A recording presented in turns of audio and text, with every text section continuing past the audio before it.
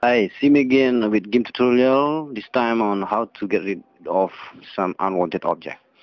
Uh, this is my picture, myself here. I want to get rid of this spot. we can simply click on the free select tool to make uh, some copy of this. Okay. See? And then we can simply edit and copy that area or just simply press the control C and control V button until you can see the new layer here. To rename it we double click and then just rename it anything we want and then click enter. So we can re we can move them anywhere we want. Uh, on this side we can just simply drag them around to cover the spot that we don't want to see.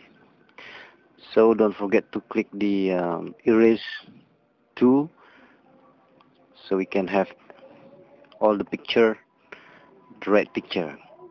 Put up the opacity to see the normal again. We can double on the new layer drag them again to where we want to cover.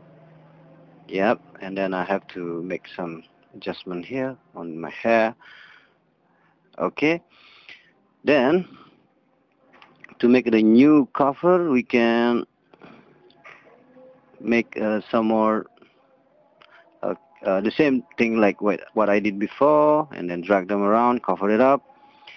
Uh, okay and then to save the picture we can just simply click right on the layer and then choose merge down so we can have one layer click save as and then can save any uh, on any format we want. Uh, this time we use JPEG. Alright export and then save. That's all. Thanks for watching. See you next